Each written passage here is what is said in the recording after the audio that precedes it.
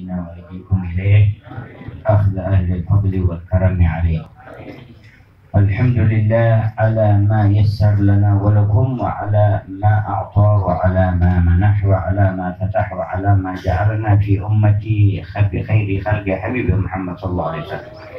وعلى ما مد لنا من حبال الاتصال بالجناب الأشرف أسانيد الرجال وأرباب الكمال وما أدخلنا في دائرة أهل السنة والجماعة وما جمعكم عليه من التذاكر ومن التناصر ومن التشاور ومن التنور ومن الاستبصار ومن إرادة وجهه جل جلاله في آه، إرادات تحب التخلص مما علق بالنفوس من كل ما يحجب عن القدوس جل جلاله وتعالى في علاه ويحجب عن الدخول إلى حضرة أهل قربه ومحبوبي وسيدهم محمد بن عبد الله صلى الله عليه وعلى آله وصحبه وسلم. وسمعتم من كلام الحبايب والمشايخ وأهل الدعوة إلى الله فينا. وسمعتم خطاب بعضكم البعض وما كان أيضا من التقارير عن هذه الأعمال في هذه الولايات. وكلها متفرعة عن خطاب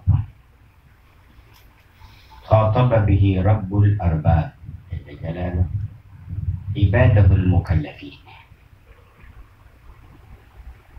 وهذا الخطاب كان في عالم الحس لآدم عليه السلام. وأول ما نزل إلى الأرض. قيل له فإما ياتينكم مني هدى فمن اتبع هداي فلا يضل ولا يشقى ومن أعرض عن ذكري فإن له معيشة ضنكا ونحشره يوم القيامة أعمى. والعياذ بالله تبارك وتعالى. وهذا الخطاب الذي خطب بأبونا آدم الخطاب الذي إليه مآل أعمال بني آدم ونهاياتهم إلى آخر الزمان أن تقوم الساعة وهذا الخطاب ظهر في عالم الحس في التنزيل على الأنبياء والمرسلين. وإرسالهم وتنبئة